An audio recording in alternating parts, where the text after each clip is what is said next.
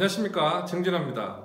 아 여러분들 이제 날씨가 좋아서 테니스 치기 좋은 계절이 이제 다 왔다고 생각했는데 무척 덥습니다. 여름이 이제 또 바로 왔네요. 그래서 지금 저도 오늘 실내에서 여러분들하고 레슨을 진행하게 됐는데요. 오늘의 레슨 주제는 스핀에 대해서 여러분들한테 레슨을 집중적으로 진행하겠습니다. 예, 현대 테니스에서 여러분들 장비의 발달과 또 다양한 코트의 어떤 그 종류들 있잖아요. 이런 어떤 코트의 어떤 종류의 덕분에 우리 이제 선수들이나 동호인들은 다양한 형태의 스핀을 이해하고 구사할 수 있으면은 자신만의 어떤 무기를 가질 수 있고요. 다시 말하면 레파토리를 준비해서 테니스 경기를 재미있게 할 수 있습니다. 그래서 이번 시간에는 스핀의 이해와 스핀을 사용하는 방법에 대해서 집중적으로 레슨을 진행하겠습니다. 그럼 스핀은 무엇일까요? 예, 볼의 회전을 말하는데요. 어, 스핀을 말하면 대표적으로 탑스핀과 슬라이스가 있는데요. 탑스핀은 볼의 진행 방향으로 회전되는 순회전을 말하고요. 예, 슬라이스는 슬라이스는 볼의 진행 방향으로 반대. 볼이 우리 앞으로 가잖아요. 가면 이렇게 반대로 이렇게 도는 거예요. 앞으로 가면 이 반대로 도는 돌아서 이렇게 가는 어, 회전이 되는 것이 예, 슬라이스입니다. 예, 여러분들 어, 우리가 경기를 보게 되면요 프로 선수들이 막 스핀을 많이 걸잖아요. 탑스핀을 치고 막 이런 회전을 많이 걸어요. 그럼 왜 스핀을 사용할까요? 예, 선수들이 이제 볼에 스핀을 주는 이유는 다음과 같아요. 스핀이 걸리면요 컨트롤하기가 쉽습니다.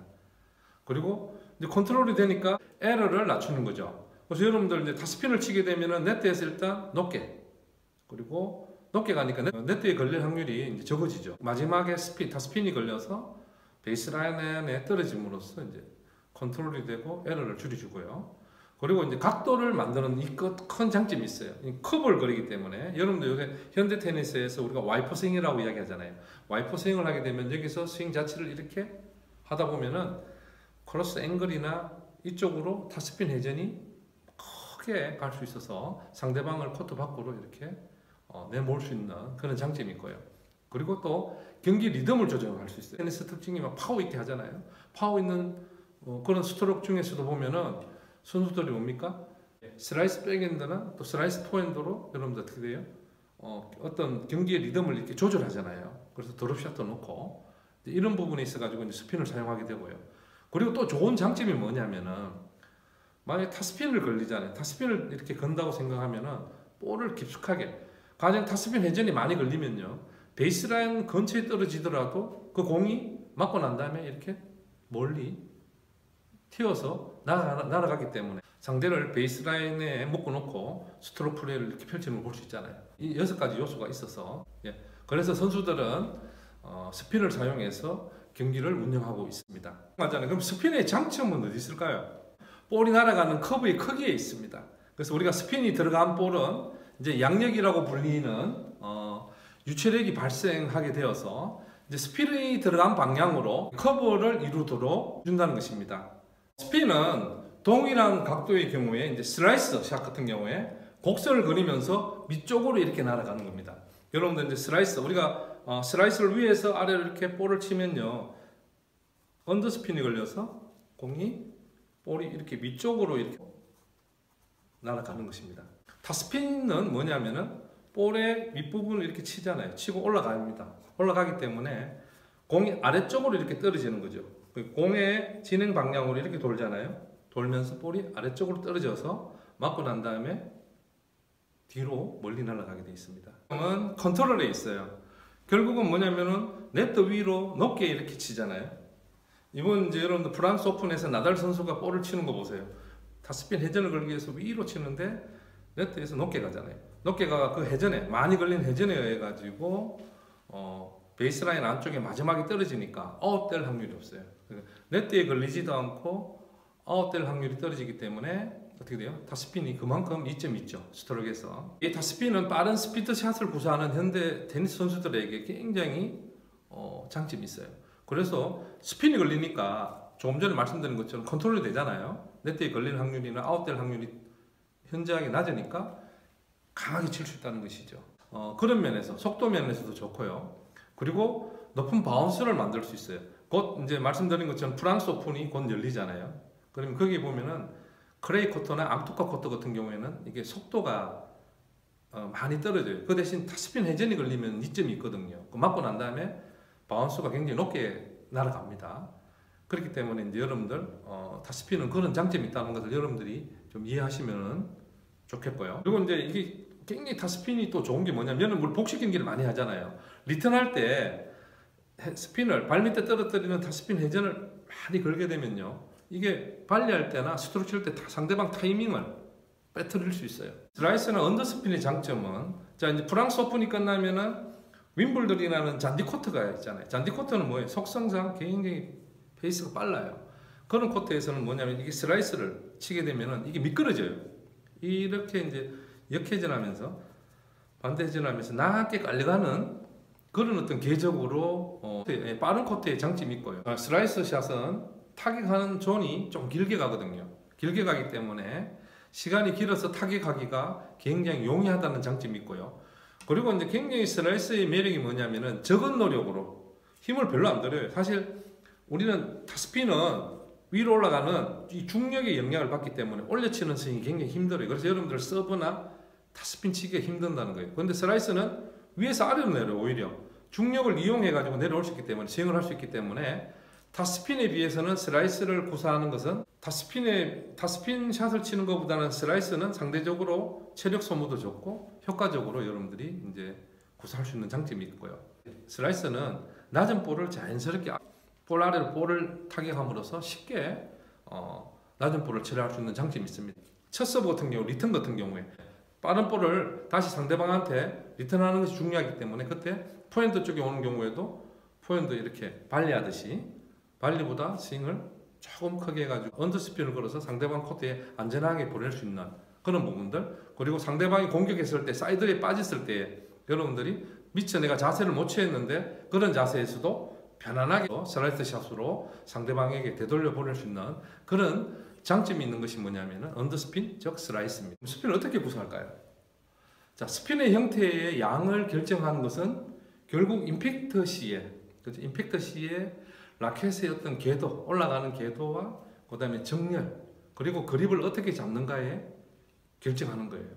그래서 첫 번째는 뭐냐면은 어떤 그립을 선택하느냐가 굉장히 중요하다. 그래서 탑스핀을 치기에 용이한 그립은 웨스턴 그립이나 세미 웨스턴 그립을 잡는 것이 좋다는 것입니다. 슬라이스 백핸드 같은 경우는 컨티넨탈 그립이 각도를 오픈시킬 수 있는 장점이 있기 때문에 그 그립 선택이 먼저 중요하다는 걸 여러분 이해하시고 그래서 스핀의 형태와 양을 결정하는 것은 임팩트 시의 라켓의 궤도와 정렬 이 부분이라는 것을 여러분들 다시 한번 기억하시면 되겠습니다. 스핀의 양에 결정 짓는 것은 스윙 궤도거든요.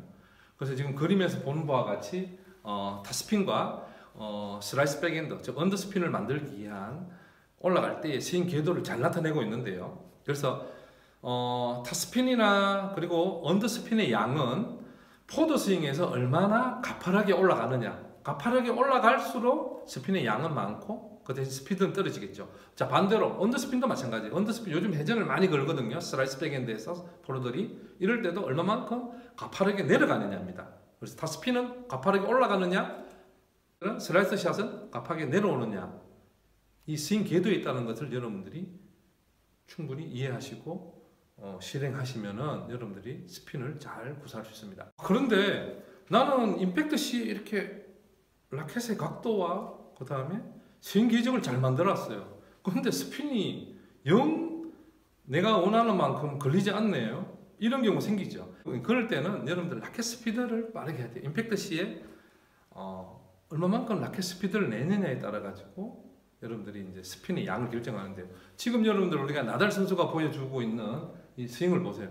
얼마만큼 빠르게 스윙을 뒤돌고 있습니까? 그래서 여러분들 나달의 타스핀 어, 양이 얼마냐면은 3,300rpm에서 최대 4,900rpm이래요. 그러니까 공중에서 공의 회전이 두 번 도는 거죠. 엄청난 회전량을 가지고 있는 거예요.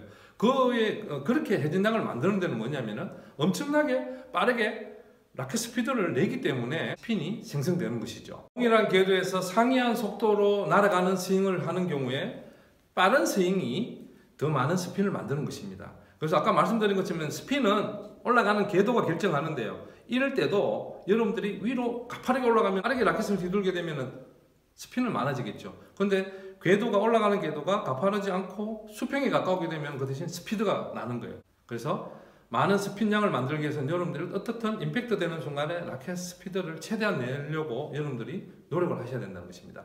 그 임팩트 시에 라켓 면의 각도가 스핀에 영향을 미치는데요. 타스핀 같은 경우에는 어, 우리가 지금 사진에서 보는 바와 같이 선수들 보세요. 거의 어떻게 돼요? 라켓 면이 지면과 수직을 이루도록 하는 것이 중요해요. 그래서 이제 이렇게 맞춰가지고 올라가는 과정에서 보면은 그죠? 라켓 면이 이렇게 덮여 올라가는 것처럼 보이잖아요.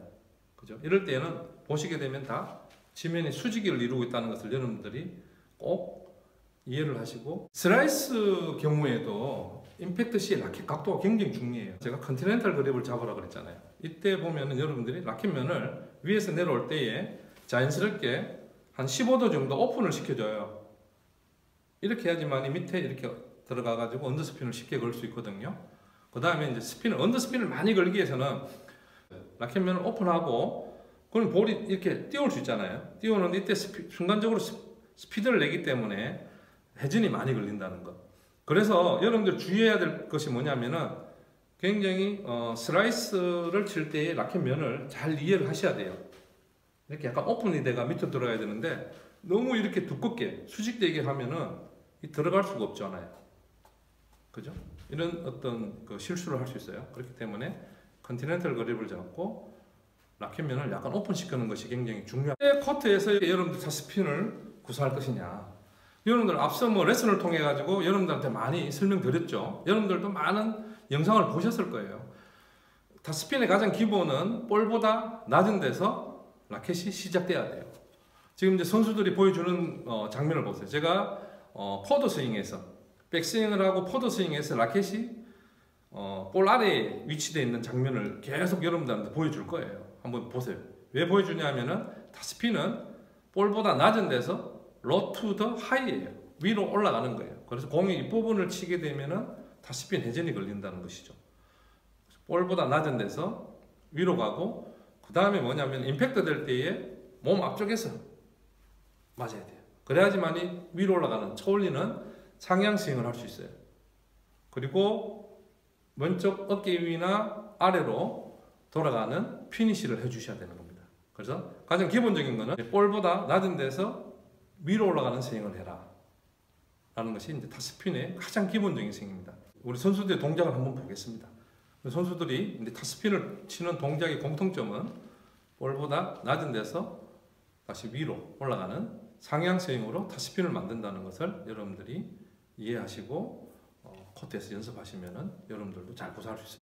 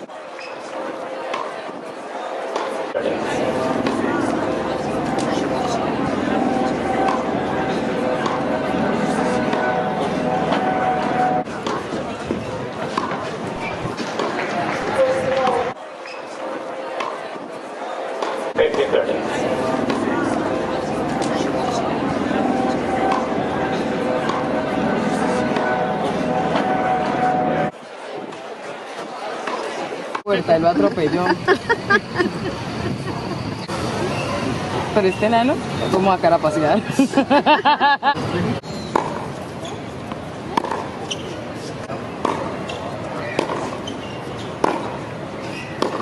Federer's Comedius punched the Charles. I know I'm really sharp from the dog.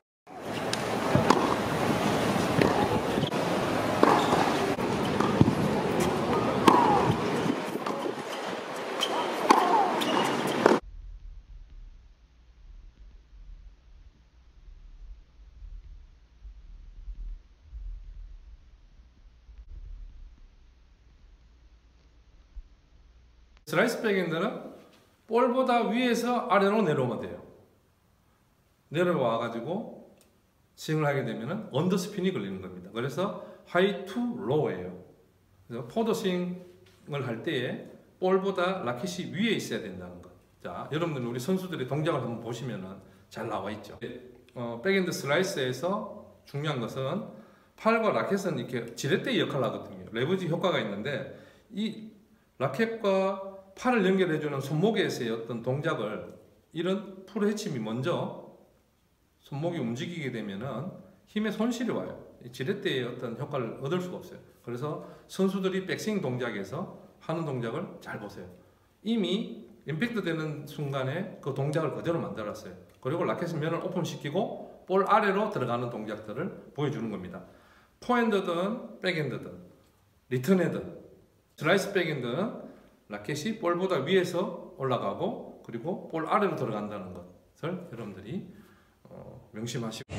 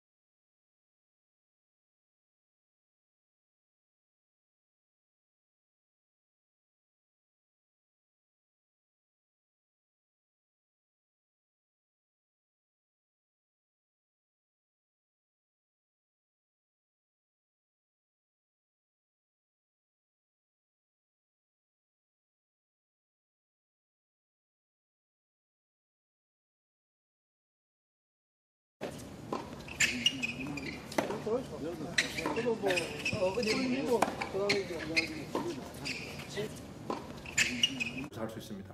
예, 여러분들 스핀에 대해서 이해가 되셨습니까? 어, 여러분들도 스핀을 구사하는 순간 여러분들은 이미 테니스 고수로 가는 길에 들어선 것입니다. 어, 스핀을 알게 되면은 다양한 레파토리로 여러분들을 경기를 재밌게 또 상대보다는 경기를 우위에서 여러분들 경기를 진행할 수 있기 때문에 테니스의 즐거움이 배가 됩니다. 그래서 항상 테니스를 통해서 건강하고 행복한 삶을 영위하시기를 바라겠습니다. 감사합니다.